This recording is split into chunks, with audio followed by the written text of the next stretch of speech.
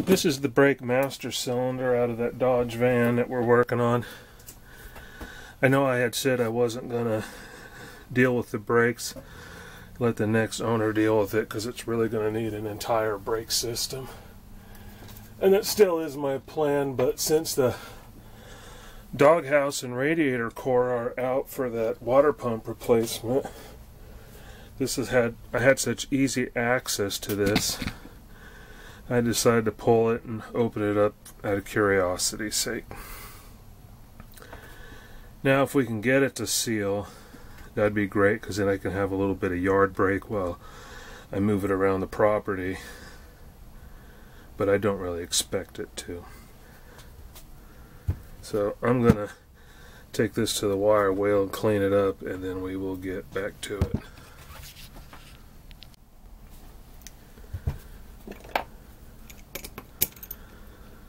This is what's referred to as a single pot master cylinder, meaning that it only has one reservoir. So this one reservoir with one piston in it does all four brakes on the vehicle. And this was really common, I believe 67 is when most automobiles went to the dual chamber master cylinder that we have today. So this one feeding all four brakes with a dual reservoir. You usually have a large reservoir up front and a smaller one in back. But I think in more recent years you're seeing the same reservoir size or in really modern equipment where it's just a single plastic reservoir but it's feeding both cylinders. But in all those instances there's two pistons inside here so one's feeding the rear brakes and usually it's the front one that does the rear brakes and the rear one does the front brakes. And with the exception of some oddball cars like Volvo, what they did is one reservoir did uh, the left front brake and the right rear brake, and the other reservoir did the right front brake and left rear brake, so they crisscrossed the patterns. So there's a few of those out there, but that's not typical. So that's a more safer brake system because obviously with this kind of system you get one hydraulic leak anywhere in the system you essentially lose all the brakes.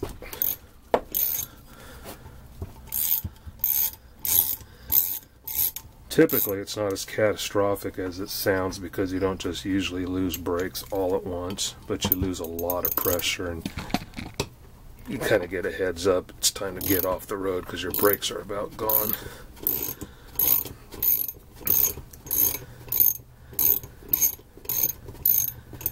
Now, in the old days, you could do one of three things when you had a failure. You could buy a newer rebuilt unit or buy a rebuild kit or buy a seal kit.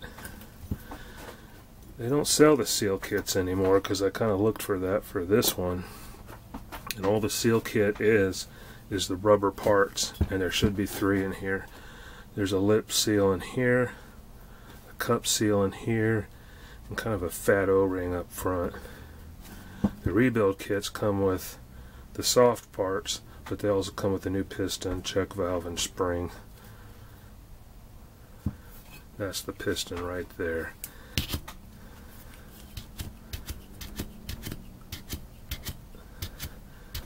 So I'm thinking this rear lip seal is probably what's damaged on this one because I was able to fill the thing up full of brake fluid and get brake but it just leaked out the rear of the cylinder. Oh, that's funny. Everything came attached. Um, so that's the lip seal right there. And you can see it's so compressed, it's not doing its job anymore. That's the cup seal. And it must be doing its job still because I was getting some brake when I pumped it. That's a little check valve. And that's the spring. And none of these parts actually stay together. It's just stuck here because it's gummed up. There's a little brass washer that goes between the piston and the cup seal.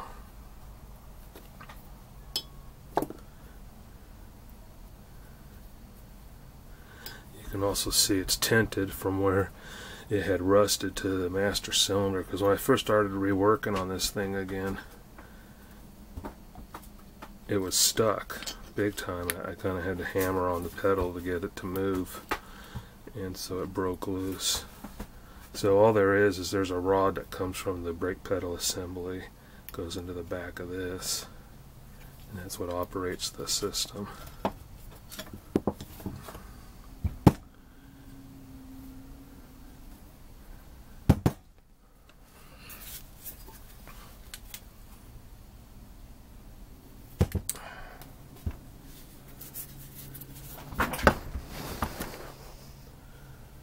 Let dig up a better flashlight.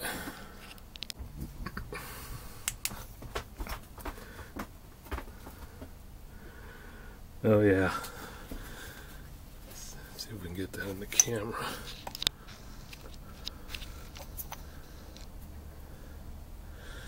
And that's supposed to be a machined smooth surface.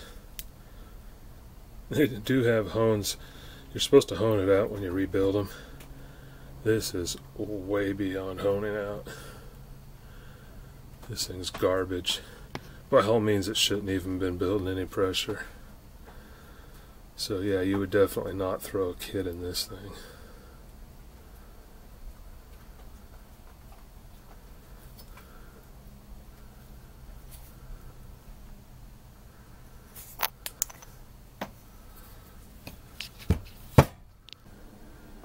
Okay, I grabbed my hone. It's not going to do any good on this thing, but I figured I'd show you what I was talking about in case you're not familiar with these.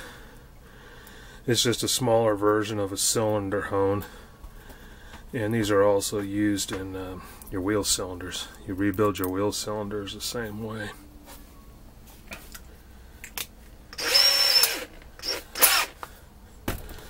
Now it's not going to be aggressive enough to remove the scaling on the walls of this thing. At best, it's just going to take the high spots down. Again, they're never supposed to look like that.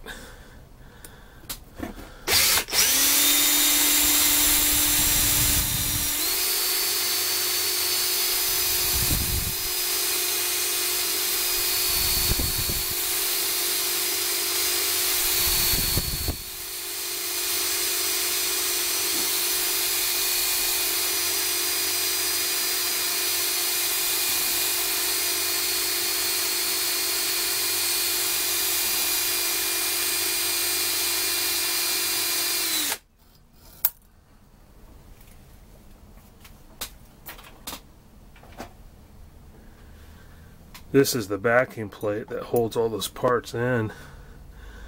And this lip here is supposed to hold a bellows boot that seals the insides from the uh, moving shaft that had either long since rotted away or the previous person that worked on it didn't bother to put it on but that's probably how moisture was introduced because this sits really low in the van.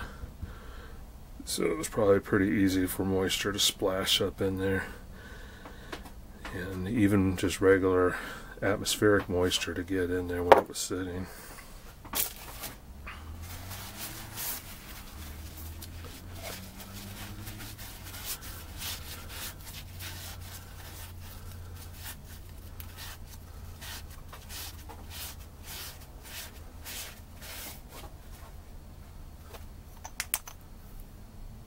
Yeah, that's horrible. uh.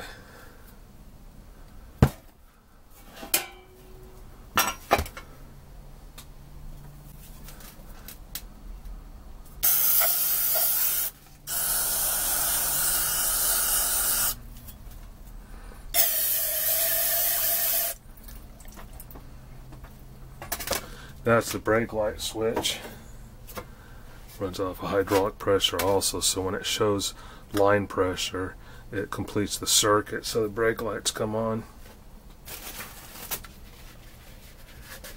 Another pretty common switch found on older vehicles. This one here was so corroded though when I pulled on that wire instead of disconnecting from the prong it took the prong with it.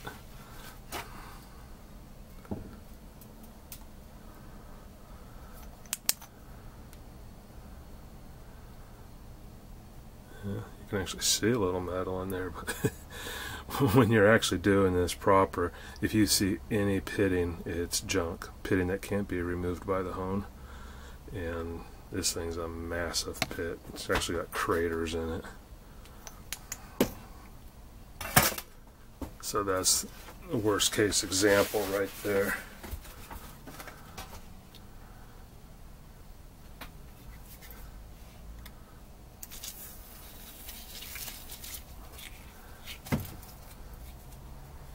It might help if I grab the right can.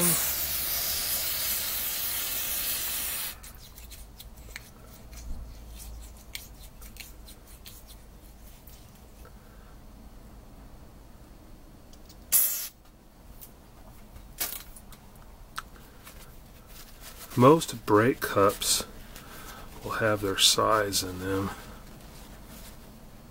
Like that. If you can see it, it's got a 1 in there, so this is a 1 inch, and that's a 1 inch bore.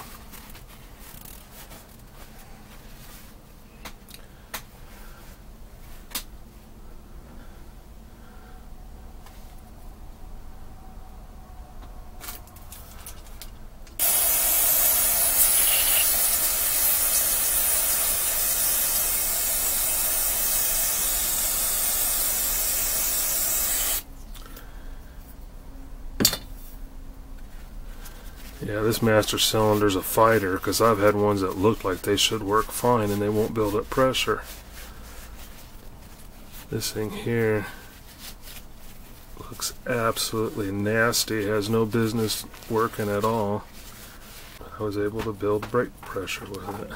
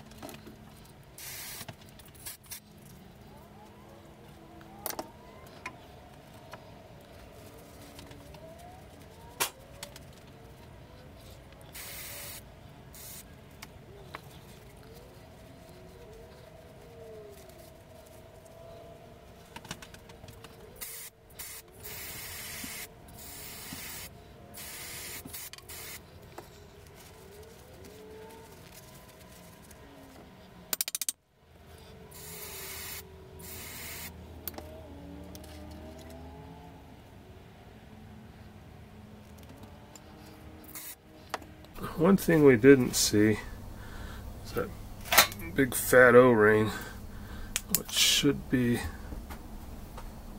the very end of this. I may see remnants of it back there. Uh, I'm not sure. Could just be where the uh, end of the piston was sitting too, where that check valve was sitting. I think I have seen these before where they didn't have that rubber O-ring in front.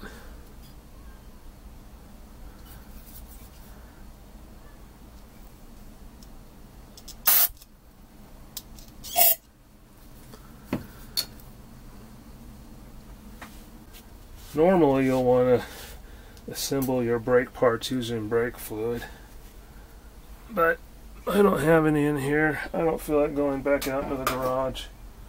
And since this thing's junk, we're just going to use what I have on hand. So that goes in first. Check valve down. That's for the piston, right? Not the piston. That's for that cup seal.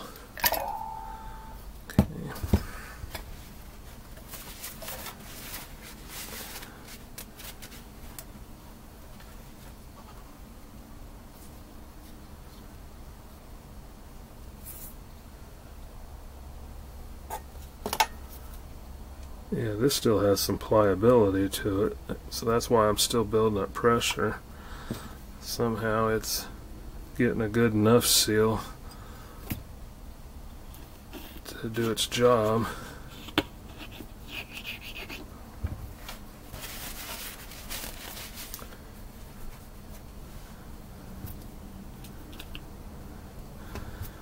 But this uh, lip seal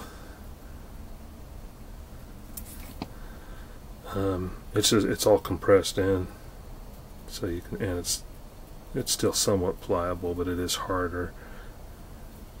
A lip seal is a one-way seal. It's kind of like an umbrella.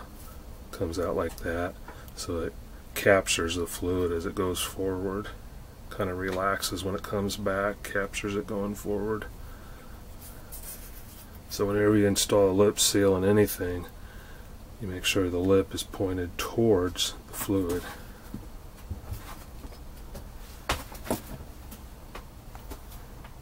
You'll see a fair amount of these in the pistons that drive the clutch packs and automatic transmissions.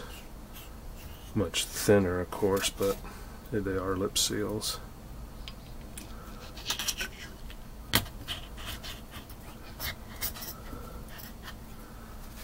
Okay.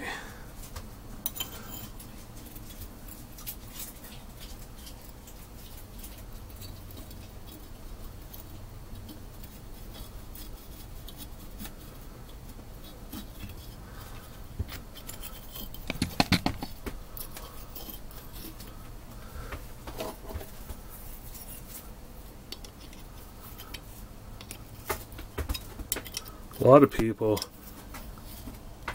that have and drive classic cars do convert the brake systems to modern dual master cylinders. It's not not the worst idea and it's not terribly hard to do.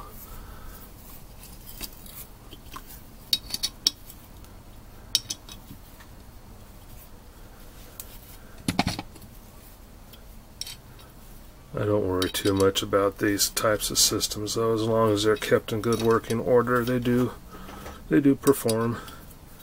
They obviously have for many decades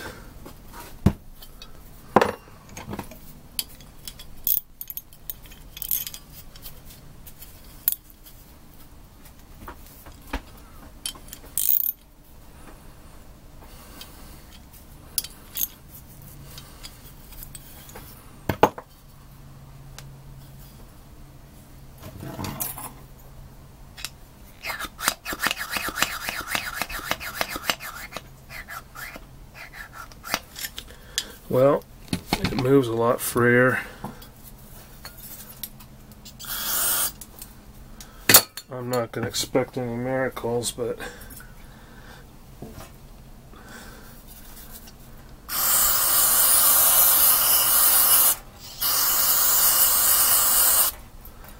at the very least maybe I can put a little fluid in it when I need to move it around the property. Let's see if uh, any of this work slowed it down any. It was a pretty quick, it was a pretty fast leak.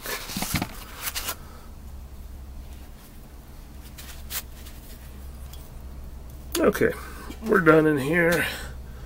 So next time we're together, we will be reinstalling it in the van.